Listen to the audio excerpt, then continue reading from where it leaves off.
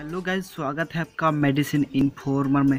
तो कैसे हैं आप लोग? मैं उम्मीद करता हूँ आप लोग बहुत ही अच्छे होंगे, बहुत ही ठीक ठाक होंगे। सो गाइज़ आज के इस वीडियो में बात करेंगे डॉक्सोफर 400 टैबलेट के बारे में, इसके क्या क्या फ़ायदे और क्या क्या नुकसान है और इस्तेमाल करने की सही तरीका क्या है, इसका यूज़ डोज इसका साइड इफ़ेक्ट मैं इस वीडियो में बताने वाला हूँ, शुरू से अंत तक वीडियो देखते रहिए। आप लोग पहले भी इसका नाम सुना होगा और पहले भी इस्तेमाल किया होगा। तो चलिए गाइज़ वीडियो स्टार्ट तो गाइज़ वीडियो शुरू करने से पहले एक रिक्वेस्ट करूँगा। अगर अभी तक मेरे चैनल को सब्सक्राइब नहीं किया तो प्लीज़ सब्सक्राइब कर लीजिए और बेलाइकन घंटी को दबा दीजिए ताकि हमारे आने वाले नोटिफिकेशन सबसे पहले आप तक पहुँचे, ताकि कोई भी अपडेट आपसे मिले। तो चलिए गाइज़ वीडियो स्टार्ट करते हैं। डॉक्सो फॉर चार सौ benefits and use in Hindi दोस्तों, आप किस किस बीमारी में ये टेबलेट काम आती है और किस कंडीशन में आप इसका इस्तेमाल कर सकते हैं? दोस्तों, चलिए गाइज़ वीडियो स्टार्ट करते हैं। दमा या अस्थमा फेफड़ों के वायुमार्ग की इन्फ्लामेंट्री बीमारी है। अस्थमा सांस लेने मुश्किल बनाता है और कुछ अन्य फ़िज़िकल एक्टिविटीज़ को मुश्किल या असंभव बना सकता है। दोस्तों ये जो टैबलेट है ये आप दमा या अस्थमा या सांस लेने में तकलीफ़ जैसी समस्या में इस्तेमाल तो दोस्तों आप बात करेंगे अस्थमा का सबसे आम लक्षण कैसे आपको देखने को मिल सकता है? जैसे सांस लेने सांस लेते समय घर घराट होना या सीटी जैसी आवाज़ आना। दोस्तों दमा के अन्य लक्षणों में शामिल है।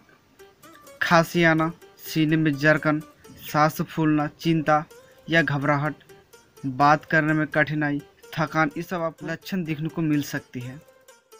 तो दोस्तों अब बात करेंगे इसका कॉम्बिनेशन के बारे में। दोस्तों, इसमें क्या क्या कॉम्बिनेशन डाला हुआ है। तो गाइस देख सकते हैं इसमें डॉक्सोफाइलिन 400 सौ डाला हुआ है। बहुत ही आसानी से मेडिकल स्टोर में मिल जाती है। आप वहाँ से खरीद सकते हैं या परचेज कर सकते हैं। दोस्तों, अब बात करेंगे इसका कंपनी के बारे में। बहुत ही अच्छा कंपनी है, बहुत ही पुराना कंपनी है। तो दोस्तों देख सकते हैं ट्रूमैक हेल्थ केयर ने मैन्युफैक्चरिंग किया बहुत ही अच्छा कंपनी बहुत ही पुराना कंपनी दोस्तों आप बात करेंगे इसका इस्तेमाल के बारे में। दोस्तों अगर आपको इनमें से कोई भी बीमारी संकेत मिलता है या दमा के संकेत हैं तो दिन में दो टाइम इस्तेमाल कर सकते हैं।